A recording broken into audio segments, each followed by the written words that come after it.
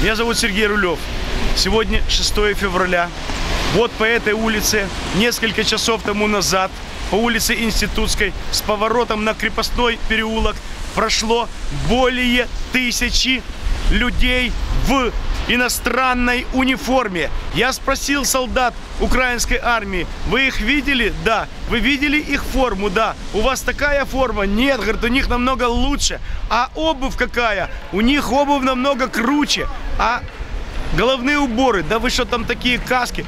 То есть это сегодня было не просто марш, сегодня был парад устрашения, сегодня был марш для того, чтобы напугать людей, которые находятся в Мариинском парке, которые поддерживают сегодняшнюю законную власть, что посмотрите, сколько нас много, и мы идем целыми сотнями. Люди шли с палками, люди шли в бронежилетах. Это был далеко не мирный марш. Я сегодня прошелся по Мариинскому парку. В Мариинском парке со всей лютой ненавистью работал нацист Александр который, это который историк, который политолог, который так спокойно выступает на Пятом канале и на ТВИ. Ребята, я еще более наглого хама в жизни не видел. Он ругался матом на солдат срочной службы. Он ругался матом на меня. Он на меня, коренного киевлянина, кричал «Пішов геть!»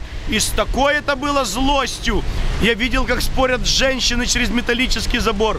Поначалу вроде бы как они братаются, поначалу у них и мова одинаковая, и возраст вроде бы как одинаковый, и их история жизни одинаковая. Но как касается только исторических ценностей, это начиная и Мазепы, и Петлюры, и Шухевича с Бандерой, тут же между ними становится непреодолимый забор. Я прошелся сегодня по Мариинскому парку. Я посмотрел себе, как ведут солдаты внутренней службы. Я побывал сегодня на парке влюбленных. Киевляне, этот, э, вернее, на мосту влюбленных, киевляне, этот мост уже горел. Ребята, его уже поджигали. На прошлой стороне видны проволока от сгоревших скатов. То есть эти революционеры меня обругивали матом. Они мне оскорбляли, даже не зная, как меня зовут. Все это здесь у меня записано. И сегодня вечером новости или завтра в новости новостей вы можете увидеть, какая спокойная обстановка находится со стороны солдат срочной службы и Беркута, и какая продолжается напряжение, напряжение, ненависть развивается, это со стороны митингующим, так называемых мирных митингующих. Люди, уже идет война.